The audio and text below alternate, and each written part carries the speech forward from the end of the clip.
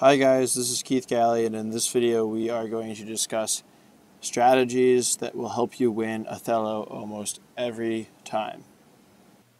One of the basic principles that all Othello strategy revolves around is that you are trying to maximize the number of positions that you can put a piece while at the same time minimizing the positions that the opponent can move. One of the first basic components of this strategy is that you are always going to want to try to control the interior pieces on the board. And so when I say interior pieces, I'm talking about this central 4x4 here, and then more specifically, this central 2x2. And the reason we want to control these pieces is because they will have less moves where they can make to kind of take over these pieces. And because we're in the center, we can make moves all around the outside and the perimeter. So to reiterate, we want to take these interior pieces as much as possible and give the opponent these exterior pieces. A second component of good Othello strategy is that while we're trying to control the interior pieces, the best pieces on the board that we can get are going to be the walls. So they're going to be the walls. And then the absolute best thing that you should always try to get are these corners. The reason we want the walls and the corners are because the opponent cannot outflank you if you are on a wall or if you're in a corner and they can only jump you if they're also on that wall. So if you're on these walls or in the corners, the opponents can barely ever take your pieces. So we always are striving to get the walls and we're always striving to get the corners. So right now, um, I have this piece on the wall and as I said before, I'm going to try to maintain these pieces in the middle because that will give me the most opportunities to get other walls and to get other corners. So one thing you might like kind of be worried about right here is right now the opponent has more pieces than me. However, that is totally fine in like the early game. We actually want the opponent usually to have more pieces than us because kind of the first thing that I said today was we want to limit how many moves the opponent can make while maximizing the amount of moves that we can personally make. So the opponent having more pieces than us right now is good because that just gives us more opportunity to flip a lot of their pieces. So right now, again, I kind of made a stupid move, but because this is not the most difficult computer, he is giving me this corner or this wall, so I'm going to take that right now. So still, the opponent has more pieces than me, but I have these central pieces, and as a result of that, I have other walls that I can go to. So right now I'm going to flip over here because that gives me another wall. He's giving me a wall down here, so I'm going to take that as well. So right now I can almost get this corner, so I'm going to flip these pieces here. So I'm really trying to get this corner, and I might have made a mad move there and given, given him that corner. So I'm going to just be careful there. So right now I'm going to make sure that I flip over this black piece of his because I do not want him to get this corner because if he has this corner, then he can take my wall pieces and I can't do anything about it. So another thing that uh, you kind of constantly want to be doing here is you want to be thinking moves in advance. So it's you're not always going to have a perfect move where you can easily flip to get a corner.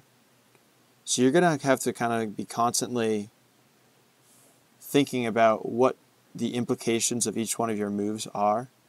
So like if you flip a move, uh, some pieces, you know, that are close to a wall, like will the opponent be able to get a corner as a result of that? Will the opponent be able to uh, possess some pieces on the wall as a result of your move?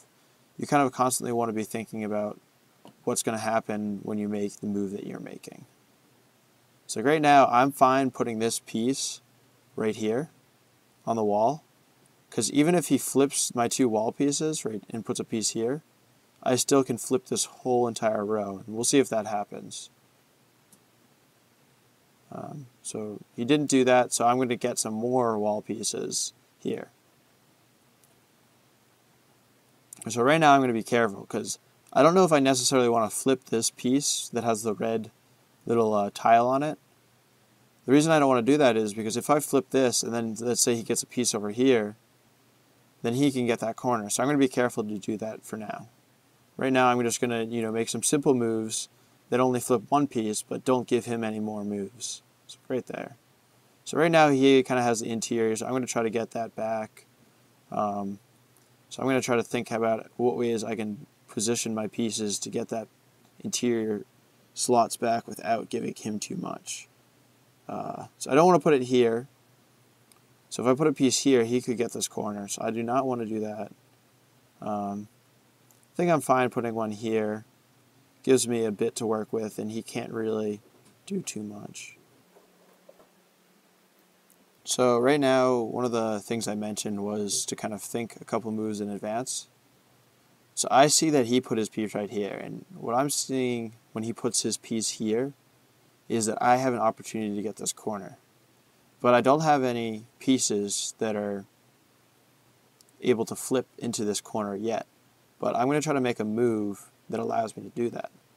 So what I'm seeing right here is there's these four tiles across here if I flip all of these, he can't really do anything to get them back because he has all of his other pieces blocking them.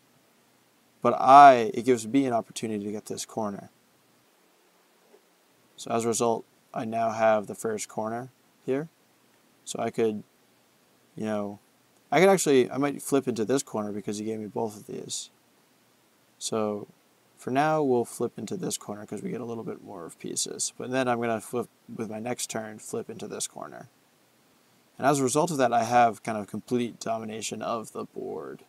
Um, the more corners you get, the more kind of control you have because see, as you can see here, there's just nothing he can do about these pieces. They're kind of locked in for me.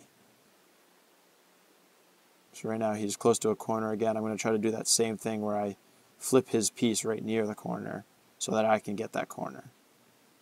So see this? I got this piece here. He couldn't flip this piece with his last move. Uh, but however, he does have kind of possession of a corner over here. I'm going to give him that one because I can't currently flip his piece here. But this is, again, not the best uh, computer, so I'm not too worried.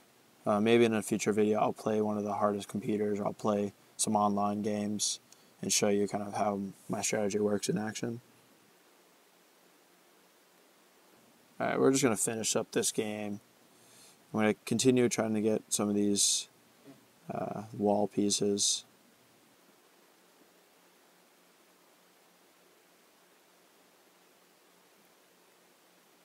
So right now I'm just trying to get as many pieces as possible uh, because this is like kind of the end of the game as you can see, I won. 46 to 18, so I kind of had a pretty dominant win here. All right, thank you for watching. Um, if you have any comments, please leave them. If you want me to make some more videos on Othello, let me know and I will do that. I'll maybe play some online matches so you can kind of see how I use my strategy in action that's not against a less difficult computer. Also, if you have any other board games you want me to kind of analyze and tell you strategies to win, let me know those as well. Thank you for watching.